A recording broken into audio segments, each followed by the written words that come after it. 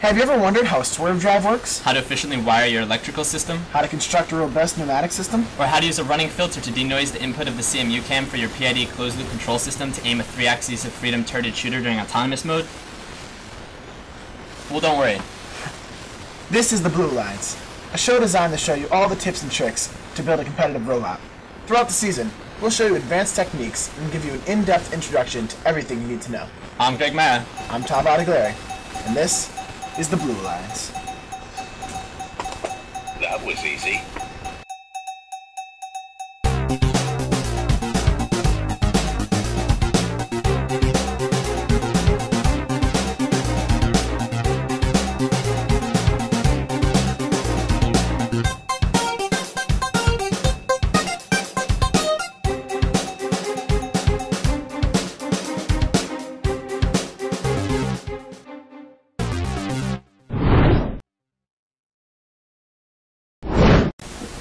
Here at the Blue Alliance, we try to make it easier for everyone to start off on a level playing field by taking some of the simpler things put into uh, competitive robot building and bringing them to you. One of the things we always see on the Chief Delphi forums is people ask, how do the electronics in my robot work? See, that's a very important thing because if you can't get your electronics to work, you don't have a robot. So actually today, we've brought a little box of tricks.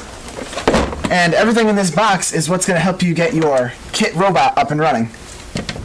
Today we've laid out the Innovation First control system. If you're on a first team, this is most likely the controls you'll find in your kit of parts come uh, January. Right, this is all the stuff that makes your robot go. Yeah. So starting from the very beginning, you have your robot battery. Now we don't actually have one of those here with us, but the first thing it does is it goes into this fuse panel. Um, the fuse panel controls all the major motors and anything that's going to be drawing a lot of current on your robot. So you want to make sure you don't short the battery, which is really bad. Once again, for those of you on first teams, in your kit of parts, you will find two fuse panels. You'll find this bus that will do 20 and 30 amp fuses, and you'll find another one, a car audio uh, fuse box that does 40 amp fuses. Tom, why would I need 40 amps? It seems like a lot. Well, see, actually, you would want to run 40 amp fuses for your drive motors. You know, last year the CIM motors and the uh, the mini bike motors, those ran on 40 amp fuses, and the 20 amp fuses go to things such as your robot controller or smaller motors, solenoids, stuff like that. Cool. So the next thing we have here is the robot controller. This is probably the most essential part of the robot. This is a little bit of an older model, about circa 2003. You'll find one that's a little bit different in your new kit, but I'm gonna go. The features really haven't changed, so I'm gonna go over a few of them. Up here on the top, we have PWM outputs. This is a pulse width modulation output that's going to drive your motor uh, controllers. Over here, we have analog and digital inputs what you're going to be able to do here, analog inputs, you're going to be able to hook up different analog sensors, such as the gyro, accelerometer, potentiometers, and digital inputs, you can hook up switches or photo, uh, Banner sensors? yeah, banner sensors, photo switches, stuff like that. Down here we have our relay outputs. That's going to hook up into the little Baby, a spike relay, and those will just turn on or off. And you're going to be able to set your team number down here as well. It's important. I believe uh, on the new ones, on the new robot controllers, you only set the uh, team number in one spot, and That's it true. syncs it via tether. But you gotta know your team number in binary. Ah, yeah. Do some math. And see, this actually works on a uh, 12 volts here, which comes from a 20 amp fuse. And there's a program port that you're going to hook up your computer to to program the robot. There's a tether port. You can use a serial cable to hook up to your control board so you can control the robot without using a radio. And there's a port for a radio. So, the first thing I mentioned was these PWM ports. Let's move down the line to this Victor speed controller. Now, what we have here is a speed controller. This will actually take a constant power input and based on the signal it gets from the robot controller, will modulate itself to drive a motor. So the way this works, because it could be a bit confusing for people who haven't seen it before, is in your actual program, your code that you write to drive your robot, you're going to set a variable, a PWM variable, to a certain value. This value is going to be from 0 to 255, with 127 right here in the middle as neutral. Indeed. So, Greg, do you want to um, comment on how that works a little more? So basically, since you're programming in programming language, the computer doesn't really know what a negative number is. So in order to do negative numbers, you pretend that 127 is your new zero.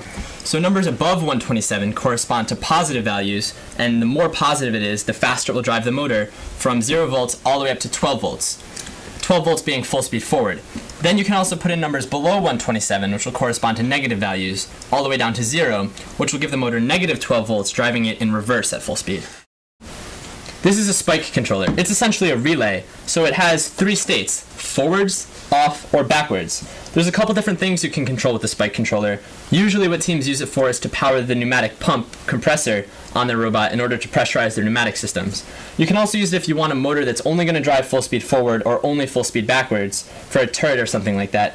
But usually, you're going to want to use a Victor speed controller to have more fine control over the robot's motion. Greg, you also might want to mention that uh, if you're using a pneumatic system, this is what's going to be hooked up to your solenoids, or solenoids as we like to call them here in Connecticut, to power your pneumatic uh, pistons. That's right. One way will power them forward, the other way will power them off. And in fact, you can get two-stroke solenoids that will let you do multiple strokes. That's when you would use the reverse channel on this.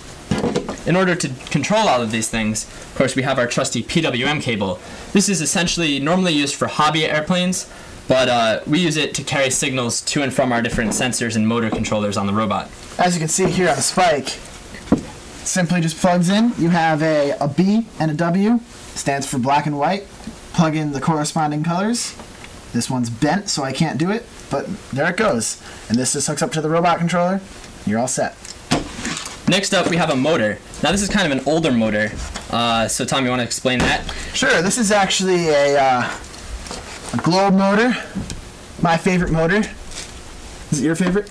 I like the, the big CIMs. The Big CIMs? Well, uh, this is a good motor.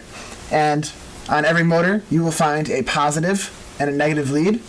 And pretty much what you're going to do is hook up the positive lead to the, uh, the M plus on the Victor speed controller and the negative lead to the M minus on the Victor speed controller. Those will be clearly labeled or in a spec sheet. So you should be able to figure out how to do that on your own.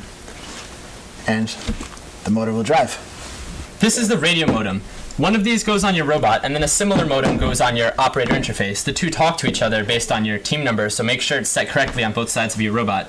In order to set the team number on your operator interface, you have to actually hook it up to the RC, tether the two, and then they both make sure that they know what team they belong to.